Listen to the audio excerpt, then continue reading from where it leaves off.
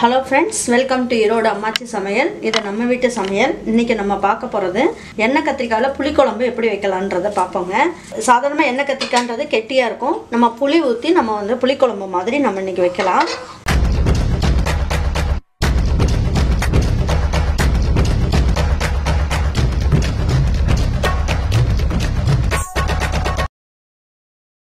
அதுக்கு தேவையான அளவுக்கு நல்லெண்ணெய் ஊற்றிக்கிங்க பாருங்க இப்போ வந்து இதில் கடுகு எடுத்திருக்கேன். வெந்தயம் வந்து ஒரு பதினஞ்சு வெந்தயம் போல் எடுத்துக்கலாம். சோம்பு வந்து ஒரு பிஞ்ச் எடுத்துக்கலாங்க. போட்டு இது எல்லாத்தையும் ஒன்றா சேர்த்து தாளிச்சிக்கலாம் நம்ம. பாருங்க அதுக்கு நடுவில் நமக்கு அரைச்சி ஊற்றுறதுக்கு என்னென்ன வேணுன்றதை நான் சொல்கிறேன் கால் மூடி தேங்காய் சின்ன வெங்காயம் இருக்கு இல்லைங்களா? அதில் வந்து நான் இந்த மாதிரி கட் பண்ணி வச்சுருக்கேன். அதில் ஒரு ரெண்டு வெங்காயம் சைஸுக்கு நீங்கள் இதை எடுத்து போட்டுக்கோங்க. ரெண்டு பல் பூண்டு நான் போட்டுறேங்க. சோம்பு வந்து ஒரு கால் ஸ்பூன் அளவுக்கு போட்டுக்கலாம் நம்ம. மிளகு ஒரு எட்டு மிளகு போட்டுக்கலாம். போட்டு எல்லாமே நல்லா நைஸாக அரைச்சி எடுத்துக்கலாம். எதுவுமே வணக்கிற வேலை கிடையாதுங்க. பாருங்கள் நல்லா பொரிஞ்சிருச்சு. இப்போ பூண்டு வந்து ஒரு பத்து பல்லு பூண்டை வந்து நல்லா பொடியாக கட் பண்ணி வச்சுருக்கேன். அதை போட்டுக்கோங்க. புளிக்குழம்பு அப்படின்னாலே கொஞ்சம் பூண்டு போட்டால் கொஞ்சம் நல்லாயிருக்கும் பத்து சின்ன வெங்காயத்தை நான் பொடியாக கட் பண்ணியிருக்கேன். அதையும் போட்டுக்கோங்க. ரெண்டு இனுக்கு கருவேப்பில்லை உருவி வச்சுருக்கேன். அதையும் போட்டுடலாம்.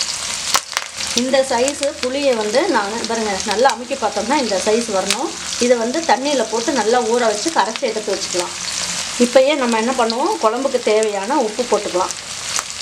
இப்போ நல்லா வணக்கிக்குவோம். கொஞ்சமாக மஞ்சள் தூள் கொஞ்சம் போட்டுக்கலாம். எல்லாம் நல்லா வணக்கிக்குவோம். ஒரு சின்ன சின்ன தக்காளியை நான் மூணு தக்காளி எடுத்து கட் பண்ணி வச்சுருக்கேன். அதையும் போட்டுக்கலாம். பாருங்க இப்போ பாருங்க தக்காளி வெங்காயம் எல்லாம் நல்லா வணங்கிடுச்சு இப்போ இந்த கத்திரிக்காய் எல்லாத்தையுமே நல்லா புழிஞ்சிட்டு இதில் போட்டுடலாம்.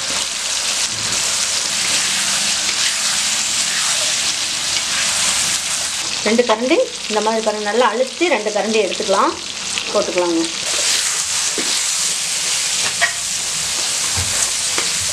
இப்போ தண்ணி கொஞ்சமாக ஊற்றி வேக வச்சிடலாம்.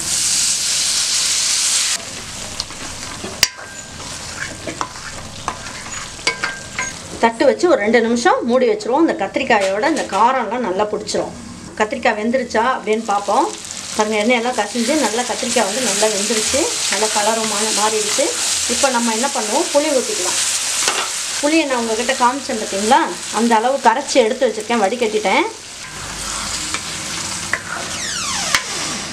இப்போ இதையும் வந்து ஒரு ரெண்டு நிமிஷம் நல்லா கொதிக்க விடலாம். அப்போ தான் வந்து புளி காரம்லாம் இதில் நல்லா பிடிக்கும். கொஞ்ச நேரம் அதை மூடி வச்சிடலாம். பாருங்கள் இப்போ புளி ஊற்றி ரெண்டு நிமிஷம் ஆயிடுச்சு. தேங்காய் அரைச்சோம் இல்லைங்களா? அந்த இது இதில் ஊற்றிடலாம்